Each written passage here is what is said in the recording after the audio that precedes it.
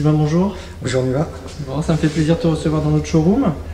Donc, euh, j'ai pu te présenter aujourd'hui euh, quelques nouveautés sur euh, ce qui allait se passer en 2017 pour DAM et puis pour Svensen Sport, Savage, Okuma, FZ, Quick, ces marques-là.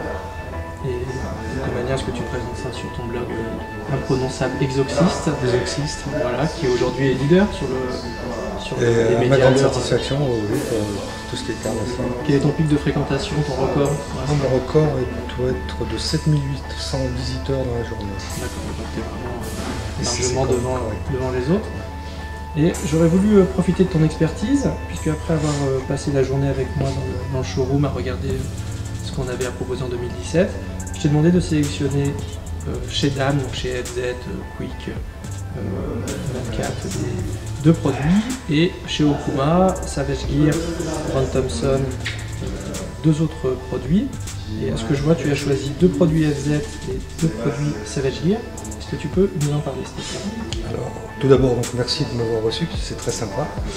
Et euh, j'ai choisi euh, quatre produits, j'ai choisi deux leurres et deux accessoires. On aurait pu choisir quatre leurres, mais il m'a paru opportun de, de mettre un petit peu un petit focus sur certains accessoires qui sont très très utiles. Alors, on va commencer par, par un petit accessoire génial qui s'appelle euh, Crazy Blade. Crazy Blade. Crazy Blade, alors c'est une lame, euh, une petite lame de Chatterbait qu'on va installer devant sa tête plombée et qui va permettre d'envoyer des flashs, des stimuli supplémentaires, un petit bruit, enfin c'est quelque chose de, de très très efficace puisque je l'utilise régulièrement. Et là on a affaire à une Crazy Blade plastique avec des reflets nacrés. Avant on avait une Crazy Blade basique en, en métal euh, argenté et celle-ci euh, me paraît très très intéressante. Donc, euh, je la testerai cette année, je. Je crois que tu as été un des premiers promoteurs de la pêche au, au Chatterbait en France. Oui, oui, sur la, sur la région où je pêche, ça s'est bien bien développé. Et je suis tombé par hasard sur le chatterbait et ça a très très bien fonctionné. On en a parlé à midi, je crois que c'était tout simplement que nouvelles vibrations, les poissons ça les intéressait. Ouais. Donc dans les régions où vous pensez que les, les gens n'utilisent pas trop de, de Chatterbait, grâce à la Crazy Blade, vous pouvez modifier votre, euh, votre combo tête plombée euh, shad de manière à transformer en Chatterbait. Et certainement, euh, Et c'est très efficace en linéaire comme en pêche à gratter. C'est vraiment un accessoire. est-ce que tu veux présenter un deuxième produit que tu as choisi? Alors, on va passer à leurre qui est quand même Le Kikes euh, Mino Weedless. Kikes Mino Weedless. Donc Weedless, euh, tout simplement parce qu'il est monté en texan. Voilà, c'est un leurre qui, qui fait tout. On peut pêcher de toutes les manières, même en vertical. Bon, c'est pas du tout sa fonction première, mais j'ai attrapé du, du poisson avec, euh, avec ce type de leurre en vertical. Alors, euh, il est superbe, il est un peu translucide, un coloris à C'est un coloris à You pour 2017, nouveau, Donc. hein, est absolument superbe. il est mobile, euh, Et résistant, c'est-à-dire qu'on Ouais. peut faire quand même pas mal de poissons avant qu'il succombe. l'hameçon texan sort bien, l'hameçon texan est très mobile.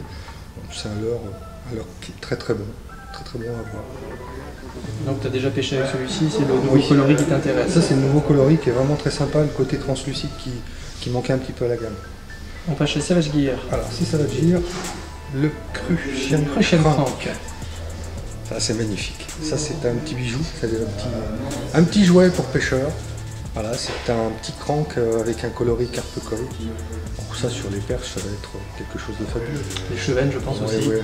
Alors, je, vois, je vois cette bavette qui va le faire évoluer certainement dans les 2 mètres à peu près. Euh, un petit leurre sympa, hein, qui est en plus, qui possède une petite qui fait du bruit.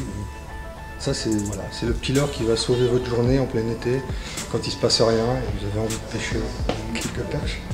Là, c'est vraiment pour l'amour du beau matériel. Oui, oui, ça. oui. Puis en plus, il est magnifique, quoi. il est beau comme tout. C'est vrai que la forme, le coloris est original.